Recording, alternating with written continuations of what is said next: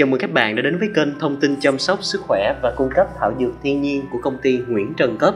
Hôm nay chúng ta sẽ tìm hiểu nấm lim xanh chữa sơ gan hiệu quả. Việt Nam là quốc gia có lượng tiêu thụ rượu bia thuộc hàng đầu thế giới. Thực tế cho thấy số lượng người mắc bệnh sơ gan ngày càng tăng cao.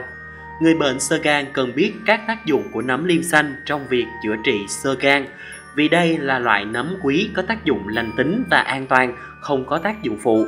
Đã có rất nhiều người bệnh gan dùng loại nấm này để hỗ trợ cho việc điều trị và đã thấy tiến triển rất rõ. Nấm liêm xanh chữa sơ gan từ gốc Sơ gan xuất phát từ nhiều nguyên nhân khác nhau, tìm ra được nguyên nhân sẽ giúp việc chữa trị được nhanh và chính xác. Nấm liêm xanh chữa sơ gan từ những nguyên nhân ban đầu, nó sẽ giúp ức chế sự sơ hóa ở gan, giảm tác hại từ các chất có trong rượu bia, hỗ trợ điều trị các bệnh lý về gan có nguy cơ biến chứng lên sơ gan, đào thải độc tố, bảo vệ gan khi sử dụng quá nhiều thuốc tây thường xuyên. Bổ sung dưỡng chất tăng cường sức khỏe cho gan, sơ gan nếu đã càng trầm trọng càng khó chữa trị, nó sẽ để lại nhiều biến chứng nguy hiểm cho gan, khó thể phục hồi. Hiệu quả của nấm liêm xanh chữa sơ gan được trải qua nhiều năm hình thành, tinh túy và dược chất từ nấm liêm xanh rất dồi dào, mang đến những lợi ích cho sức khỏe và chữa bệnh. Nấm liêm xanh chữa sơ gan dựa trên cơ chế hoạt động như sau.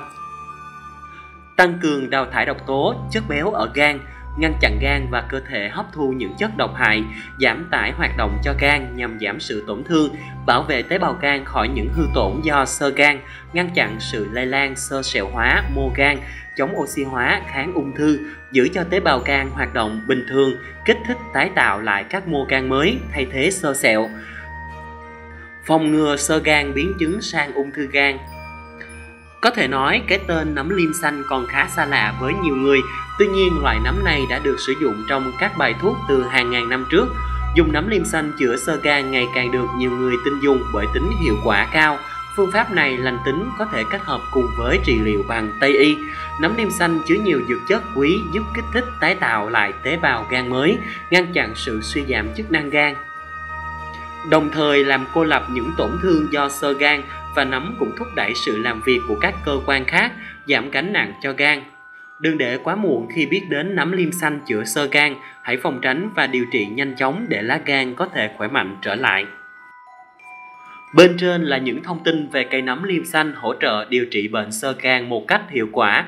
Chào tạm biệt và hẹn gặp lại các bạn trong video tiếp theo. Liên hệ ngay với Nguyễn Trần Cốp để được tư vấn tốt nhất. Địa chỉ số 368 Quang Trung, phường 10, quận Gò Vấp, thành phố Hồ Chí Minh. Hotline 0906 852 188.